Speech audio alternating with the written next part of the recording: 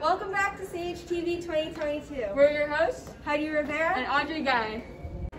Just a reminder that this Monday is Valentine's Day. Wear pink and red and watch for Student Council. They have something special planned. Black History Film Festival is going on Tuesdays and Thursdays at lunch in the theater. Make sure to come. Attention grade 9 to 11 seated. Anyone interested in writing a math contest, please see Mr. Kelsey by February 14th. Or message him on Teams. Here's Mira for sports. On February 15th, the junior girls will be going against Civic Academy in Surrey Championships. Senior girls championships for South Fraser will take place here in Clayton Tuesday to Friday. Unfortunately, no spectators are allowed, but let's cheer them all in spirit.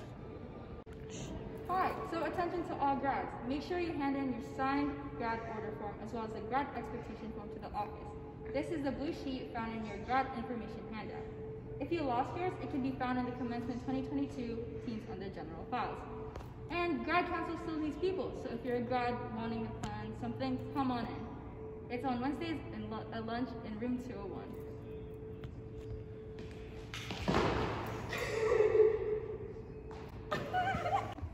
Hey Nazha, it's time for clubs! Go get your Project Equal gear. They're on sale till the 28th of Feb. There's a new club in our school called Diversity Club. It's here in the library at lunch on Fridays every week for now though. It'll change. Um, so in Diversity Club, we're starting out with a prayer room. This would be the prayer room. You can come here anytime to pray and it can be just it can just be a safe space for you. And then we also have mentorship. If you're in grade 8, grade 9, grade 10, doesn't matter.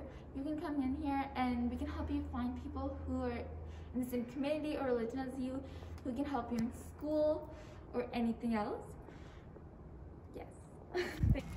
Thanks for watching this week's episode. And thank you for everyone else who was hosting. See you next week. Bye bye. Just standing like this. Is it a video? Yeah.